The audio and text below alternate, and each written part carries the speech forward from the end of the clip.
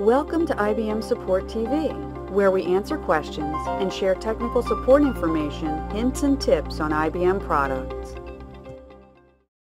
Hello, welcome to this short presentation on the anatomy of probes. There are two main types of probes, native and non-native. Native probes are built for a specific platform. They run as a single process. Non-native probes run a specific non-native Java process and a platform-specific native process called the non-native probe. The probes themselves have a number of features that improve performance. Single-headed probes process events serially from a serial event source.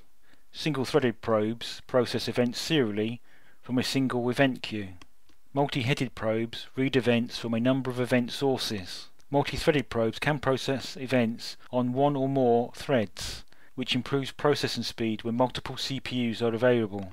Single-headed, single-threaded probes read events from a single head and process these events serially. Single-headed, multi-threaded probes read events from a single head but process these events in parallel using multiple threads. Multi-headed, single-threaded probes read events from multiple heads and place these events on an event queue for event processing by a single thread.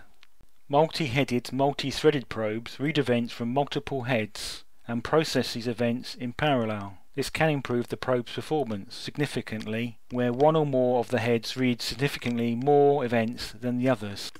The probes are made up of common features and probe-specific features. Events are read in from one or more heads, processed using rules files and lookups, and sent to one or more object servers. The Netcool Omnibus core features provide common behavior between the probes. These features are based on event processing and object server connectivity. The main configuration files are the probe's property file, used to set the probe specific and common features, the probe rules files, which define how the dollar tokens are converted to the object server at tokens, the lookup files, which allow one or more fixed fields to be defined through a single field lookup. There are three main common log files. The stream capture file, which captures the raw streaming data seen at the probe's heads. It is only available on some of the probes. This file can be replayed using netcat. The raw capture file, which captures the dollar and DAT tokens on initialization. This file can be replayed using the standard input probe. The probe's log file, which can log probe processing details at various login levels. The Netcool Omnibus common feature files allow features such as process locking and store and forward. The probe's def file holds the field seen in the object servers that the probe connects to and is auto-generated. The socket probe is a good example of a native probe. The socket probe is a multi-headed single-threaded probe.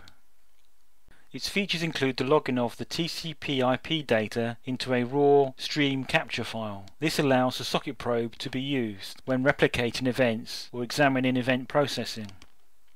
The Tivoli EIF probe is an example of a non-native probe. These are Java-based probes that use the native NCO underscore P underscore non-native binary. The Tivoli underscore EIF.jar handles support and parsing of the EIF events using the Java EIF API. The EIF API includes additional login and the stream capture login is available as well to assist further troubleshooting.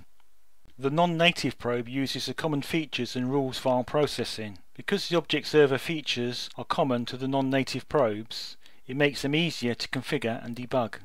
Another example of a non-native probe is the generic TMF 814 Corba probe.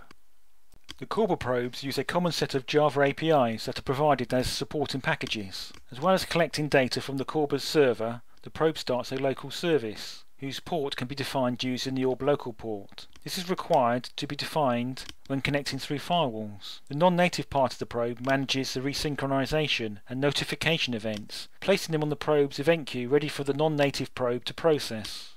The object server features are the same as the Tivoli EIF probe and other non-native probes, making it easier to configure and debug. Thanks for watching this episode of IBM Support TV. Please leave a comment with topics you would like to see in future episodes. Until then, stay tuned.